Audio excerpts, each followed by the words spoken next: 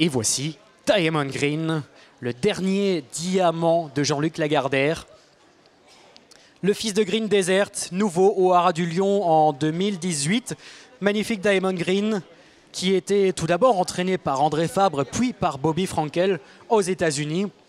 En France, il avait gagné, euh, il était invaincu lors de ses trois premières sorties.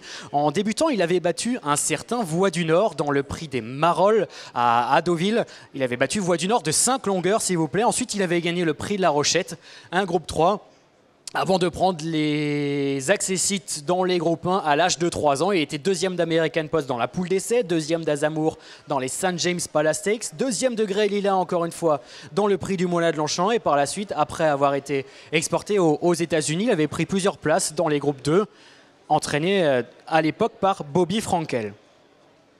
Alors O'Hara, O'Hara, le, Diamond Green a débuté sa carrière en Irlande à Ballyshead avant de venir O'Hara euh, en France. O'Hara des Granges, entre autres. Mathieu Daguzangaros va nous en parler dans, dans un instant.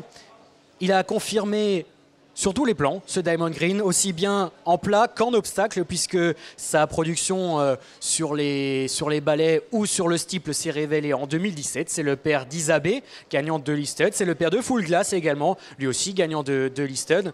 Euh, c'est élève d'André Duboé, élevé au, haras des, Fontaines. C'est également placé de groupe à Hauteuil. Diamond Green, 2500 euros la en 2018, un brun d'un mètre 65.